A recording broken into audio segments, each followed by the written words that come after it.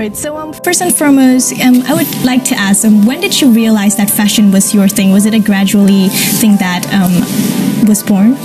Um, in fact, it's since uh, I'm teenagers, like 12 or 13, I find that myself is very like to um, uh, like trading. I like to sell things. I like to sell things. So we are we are the kind like using the um, this uh, Saidina, the money, the fake money to do a trading at home. You know, with my cousins. You know, so from there I know that I like to be like tradings. Then from there also I like to dress up. So it's like a dress up and also trading since I'm teenagers. Right, interesting. So, um, do you have any other hobby besides looking at clothes all day? Um, for the latest hobby for me is the I like to um, uh, visit the social media for the this uh, for the popular social media to observe their lifestyle, their traveling, um, their traveling uh, style. You know how they take photo. It's interesting. Every day have a new things on the social media. It's like a newspaper. Yeah. Yeah, it is. Yeah. So, does it consider as like a work as well, a job for you? Um, it, it is a work. It's also a hobby. It's uh, because uh, when I find when I search that, I find it's very enjoy. You know, yeah. All right. So, um, you left school and started working at a retail brand in L. Yes. Um, what was it like back then to start working at a young age? And how old were you back then? Um, it's a 16 and a half. 16 and a half. In fact, I'm very uh, thankful to my uh, first uh, my first uh, boss. You know, my first boss in L, who gave me the advice. Uh, actually, uh, I don't like to study. Honestly speaking, I like to work. You know, I like to earn my own money, and I can do um, I can do uh, my own shopping. I can give the, my money to my parents. You know, so uh, then my first boss uh, uh, is her name is Chris. She say, uh, Matthew, okay, um, you are young. You know, I mean, so I give her a chance. I guess she said she give me a chance. Then, uh, but you don't work here and there. You know, you work here long for me at least uh, five years. Yeah. Then I say yes. I I, I, I, I say yes to her. Then after that, okay. Then she find she, she she's very happy. And of course, um, that time she only give uh, young people a chance. But to me, I very appreciate her because um because of her. So I entered to this uh, industry because uh, during that time, uh, you know. Uh, fashion retail is not the industry for men for boys you know that time I was a boy so it's not really it's uh, mostly 99% is uh, women's Um, how was it back then juggling school and work at the same time? Um, in fact, I start work very early. You know, I mean, I'm. I think it's. Uh, I just uh, finished my SPM. Then I immediately I work. Ah, I see. Yeah, Alright. I immediately I work. What was your biggest challenges back then?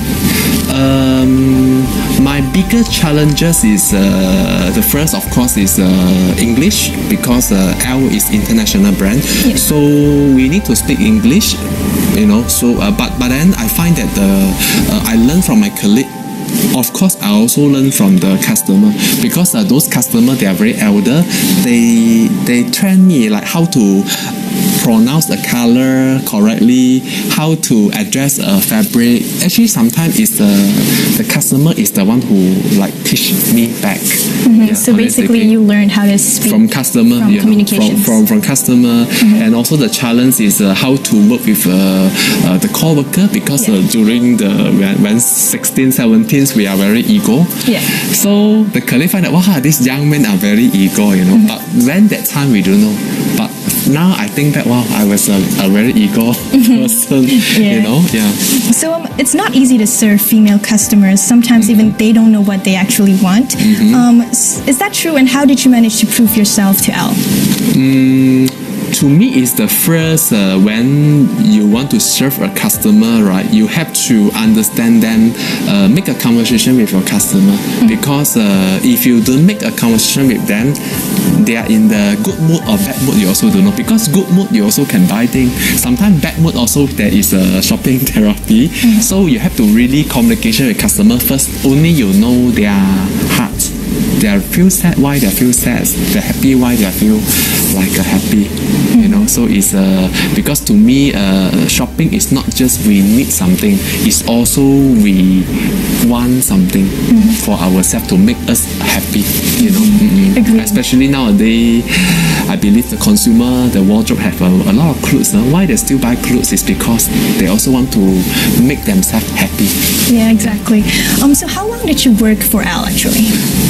Again, sorry. How long did you work for L? Uh, six years. Six years. six- Did you get promoted? Yes. Uh, oh yes. Uh, I'm from. I, I work as a part time. Part time first. You know. You know that time is like three three dollars. You know. So after that, I get promoted to the full time. It's by step full time. Then senior. Of course, is a assistant supervisor, supervisor, area supervisor. Step by step. You know. Wow, The- amazing. It's it, it's not suddenly. It's not. Uh, Yeah. So it's uh, really by step by step. Every year or two years only uh, promote. Yeah. Mm. Amazing. So there was one time the economy was in a tight situation, Oh. and you had a certain idea for a collaboration with banks and private shopping. Mm-hmm. Um, can you tell us more about that, and how did you come across this idea? Uh, in fact, I find that this is um, the we need to talk to our customer. Uh, it, the, actually, the banker is uh, one of the customer. Okay. One of the customer. So you know when we serving customer, maybe we will ask customer the customer profile or their name card. From there, I know oh, she's a vice president for that time. She's is a CIMB. Uh, is a vice president in the customer service.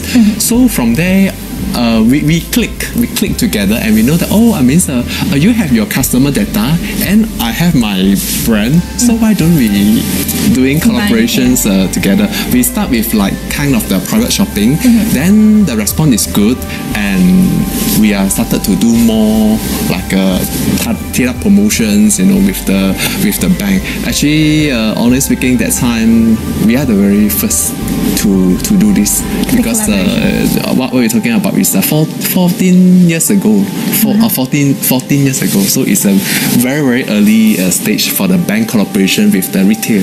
Yeah, now it's very common, right? Uh, restaurants, you know. But that time is a really, really beginning stage because uh, bank is bank, retail is retail. You know, we're just using their machine for the transaction, but not really in the collaborations. Yeah. So technically, the idea came from yourself. Um, might be, you know. You can say that. yeah. uh-huh. But so um, your qualification is your years of experience and proving you know your stuff. Um, so most fresh graduates these days are having hard time to get a job because Uh-huh. when they find a job they need experience, but Mm-hmm. they don't have a job, so therefore they don't have experience, and thus they don't have a job. So what are, what is your thoughts on this? Um, actually, uh, to me, uh, I start working very uh, young. Uh, if I if I have chance to, uh, if, for example, if I chance to complete my uh, graduations, mm, I might start work at 21 or 20, 22. Yeah. Um, actually, mm, to me, the um, for those uh, very I also young. For those young or teenagers, people they try not so rush to like I want to join. I want to be have a high salary. I want to be uh, like CEO or or whatever. The end of the day, position is just a, a position. A title. The, the, the title. Uh, the important is uh, the value of you in a company. To me, uh, uh, even the the most um, humble position in a company is also played a very uh, important role. To me, uh, I respect all, all of my uh, retail staff uh, now. You know, I ask, I always, every day also uh, greet them. I ask their feedback. You know, uh, also some kind like uh, not only just uh, employee and employer, is also like a friend. But I make the, this uh, line very clear. So because, basically, you have um, to start gradually and earn it, right? Mm, yes, correct.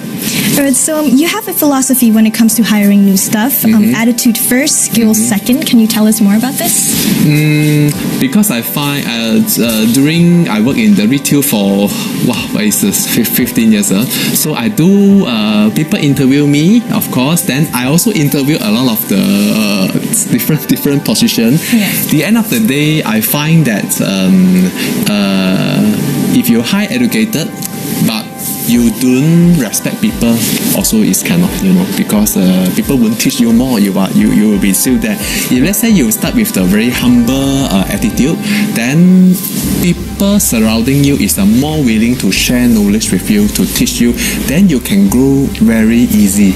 Although you are the um, some kind of people say not a smart people, but usually not a smart people usually they will have the high position the end of the day. I, I realize this you know. So uh, those are really really um, maybe the head of the head of the company or the head of the department. Some kind mm, why not so sharp this person? But in fact they are very friendly. They are very people feel like oh I, i'm okay. I, I'm, I'm good to work with you.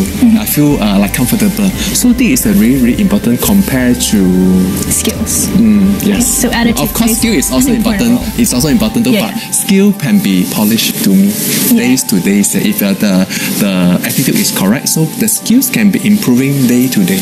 Yeah, that is true. Yeah. All right, so now let's talk about active fashion. And what is your goal for active fashion? Uh, wow. Okay, it's a big vision. We want to become the leading kids wear uh, in uh, Malaysia for these uh, five years first. Then uh, we'll expand to the Southeast Asia for the next uh, seven to eight years. All right, that's Yeah. amazing goal. Yes. Hopefully you'll get there. Yeah, thanks. Uh, All right, so now you also collaborated with Amber Chia Academy to train um, little junior models. Mm-hmm. Were this, wait, were this mostly for junior lookbooks? Yes, it's um thanks Amber. Amber is our very good friend. So uh, why we will choose Amber Chia to train the kids, uh, our customer kids also. So it is because uh, I find that she is a very passionate in, of course, in the this uh, modeling industry, and also her love to the kids. To me, is a very passion because you know when you train one, two kids, you know, okay, it still can manageable. When you train twenty kids together, totally is very it's not easy. Yeah. It's when you look at our backstage, our backstage uh, before the show, wow! But thank God, every time when we're doing fashion show runway for the kids, right, on the front. They all looks very professional.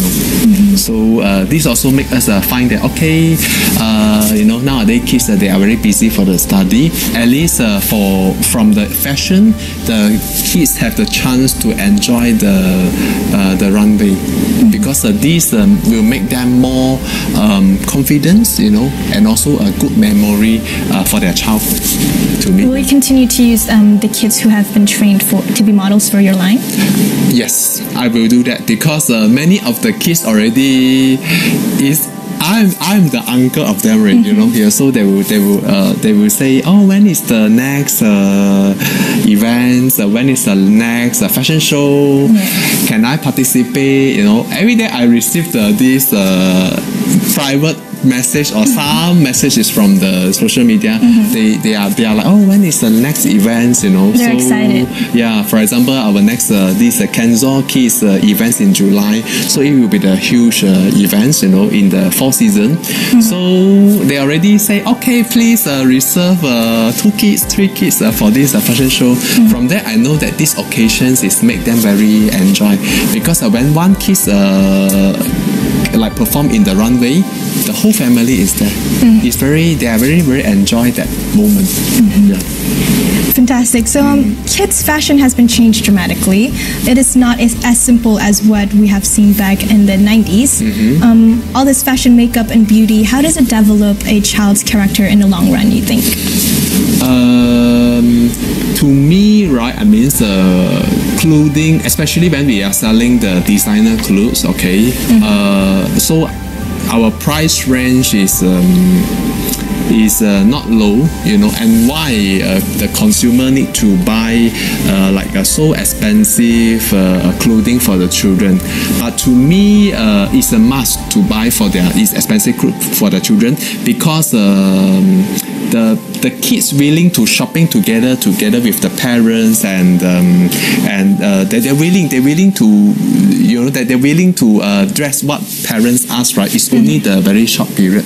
And usually uh, from my regular customer I find that uh, uh, one piece of clothes can wear at least uh, two years or three years. So it's very worth so it's a very worth So then I find that is uh, this is the um, is is uh, is a different era. Now it's also a different um, era. So I mean uh, generations. Uh, uh, kids is uh, they they they know they, they know what is uh, good and what is the uh, not so good. Yeah. They are when They parents their uh, choice. yeah when, when their parents uh, buy something nice to them, they they will feel uh, very appreciate to their parent. I can I can feel that. But of course, uh, I, I I not mean we have to spoil the kids, right? Yeah. Uh, from there we uh, educate the kids. Oh, this is a nice thing. So from there they will learn how to appreciate the nice thing. Yeah. Yeah. Um, s- what is your vision for the fashion industry in Malaysia? Mm, honestly speaking, uh, why I start to do, why I like transform to do in the kids fashion is because uh, I find that uh, the fashion in Asia, you know, is uh, led by is led by you know uh, uh, the previously is like Japan, uh, Hong Kong, uh, you know, it means uh, uh, Singapore, you know. I, what I mean is in the adult fashion. I just hopefully um, in Malaysia we can lead the kids wear fashion trend in Asia. To me, at least, uh, you know, we can lead this trend. Yeah. Adult fashion is very large. Uh. Maybe from there my customer grow. So this customer can lead the trend for the maybe Southeast Asia or Asia. At least uh, from kids they already like have the good exposure because uh, many of my customer kids is already on the magazine's cover. Uh, they're already in the magazine's cover. So, uh, you know, you know, we just search their name in the Google. It's already appear their their profile. profile, mhm. So from very young, they already start to build up their uh, their this uh, reputation in the right way. So this will be grow better instead of they start when 20 or 30 Yeah. is considered too late because in the future I find that for the next generation mm, it's not about the education of course education is Important, education is yeah. important too it's not about the this um, it's not about attitude it's about the also the exposure it's, it's also uh, as about the confidence to the so this is also important for the for the next generation so I therefore I suggest uh, parents right I mean um, it's not to just uh, put your kids to the library or just uh, put your kids to the sports is enough it's overall Yeah. of course it's not also you know nowadays uh, I find that parents also uh, try to uh, feed the kids with the dance everything also not you have to find that anything can make your make your kids to be have the wider view have the good vision so then the kids will carry on themselves uh, uh, The broader horizon. yes Yeah. Um, so you have come a long way to get to where you are today. So what is the one thing that you could say that you're proud of um, in this journey? Mm, to me, I learn. I keep learning every day. I, I'm not just learn from my uh, my seniors, uh, maybe uh, from the very, uh, uh, of course, uh, from my business partner also. I mean, uh, Brian, who shared with me a lot of the knowledge in the business and also the public relation.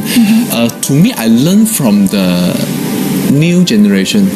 I also learn from the kids because uh, to me, kids could uh, kids could look very shy, you know, but when you really talk to them, they have their own mind.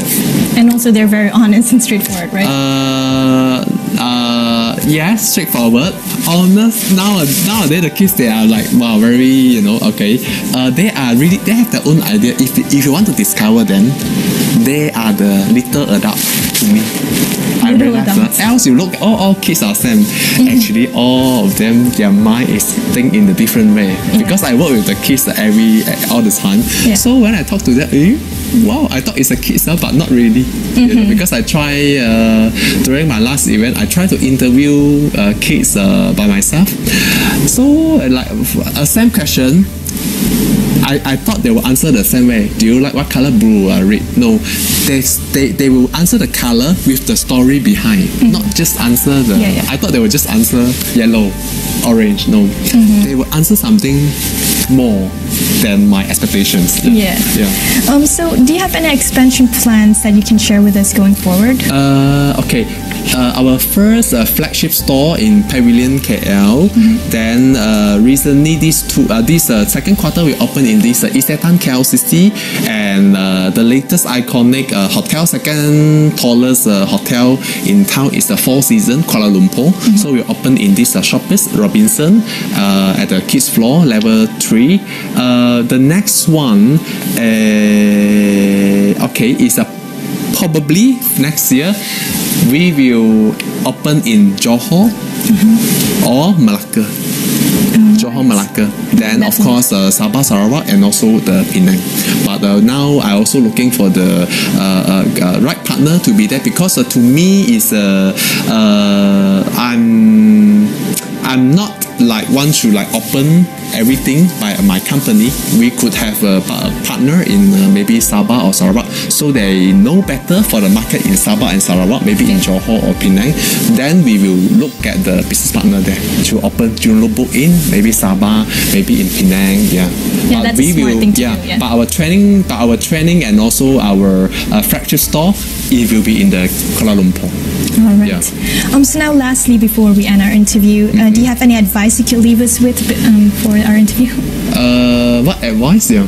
Fashion advice, business advice, any advice? Mm, to me is uh, uh, when we want to spend time with the with, with the kids right uh, do do uh, like like um, spend time with them like uh, discuss uh, how to how to uh, uh, dress up. Because actually to me is um, uh, people will find that oh uh, shopping is uh, wasted wasted uh, uh, money you know I mean so we be spend a lot. To me is um, uh, every day we also eat you know every day we also eat you know. Uh, nowadays people also go for traveling and, and they, they spend a lot of money for traveling. Yeah. to me is uh, spend some money to your kids to uh, to enjoy. Because to me I, I, I know from my customer right I find that some customer why they why they really uh, wow I mean uh, you know they, they really spend uh, money to their kids more than themselves. I ask them you know I say oh because uh, I'm very happy when I see my kids uh, dress up so nice. Uh, I say uh, your kids seems dressed mm, better than you. I said, no never mind. I just let my kids uh, wear nice because uh, this is the moment uh, my my kids only six years old for this year. It will not happen again. Oh from that I know that the the customer why they will be like um, uh, I, I actually I can I, I can feel uh, they're not really um, they're not really uh, um, Specific? they're not really uh, uh, look for the they're, they're not really look for the product or, or brand or whatever. They really love the kids you know?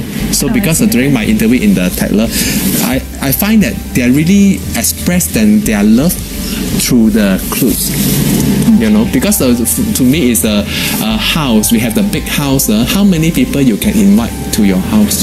You have the big you have the big car the car drop price every day.